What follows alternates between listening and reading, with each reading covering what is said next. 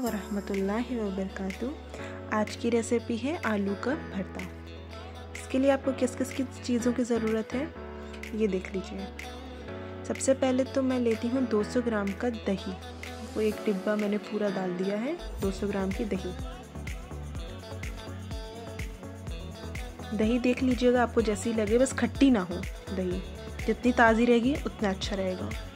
उसके बाद ये मसाले लिए हैं, लाल मिर्च मसाला है, इसमें और हाफ़ टेबल स्पून हल्दी है, नमक अपने हिसाब से डालिए, गरम मसाला, चाट मसाला, ब्लैक पेपर, ठीक है? इसके बाद इसमें मैंने डाला है अदरक लहसुन का पेस्ट एक चम्मच। ये मैंने डाला है एक कटी हुई शिमला मिर्च। इसको आप बारीक भी काट सकते हो अपने हिसाब से। मैंने इसको थोड़ा फाइन रखा है और मैंने इसमें दो टमाटर डाले हैं। इसको भी अच्छे से काट के आप डाल दीजिए। फिर इन सब चीज़ों को अच्छे से आप मिक्स कर लीजिए।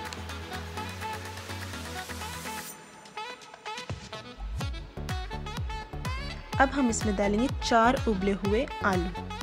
अगर आपकी फैमिली बड़ी है, आप इसको और अच्छे से ज़्यादा क्वांटिटी में बनाना चाहते हैं तो आप आलू की क्वांटिटी बढ़ा सकते हैं। ये मैंने चार आलू उबाल लिए थे और उसको मैश करके मैंने पहले से ही रख लिया था।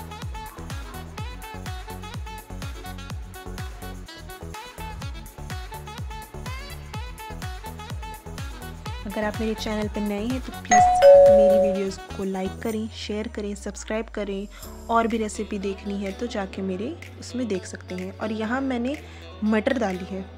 मटर को भी मैंने पहले से उबाल लिया था। फिर इसमें एक कोयला रखा है मैंने और उसको स्मोक के लिए हल्का सा ऑयल डाला है। इसको कवर करके आप रख दीजिए। कम से कम 10-15 मिनट के लिए, ज़्यादा नहीं। इसको रख लीजिए। फिर आप पैन लीजिए, उसमें ऑयल डालें।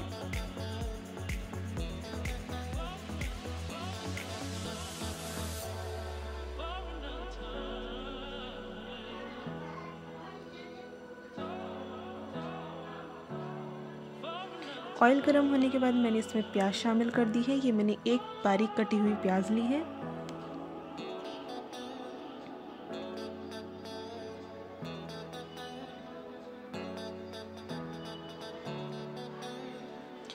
फिर इसमें मैंने, इधर मैंने हल्दी, आधा चम्मच और लाल मिर्च, आधा चम्मच डाला है। और यहाँ तीन हरी मिर्चें कटी हुई डाली हैं।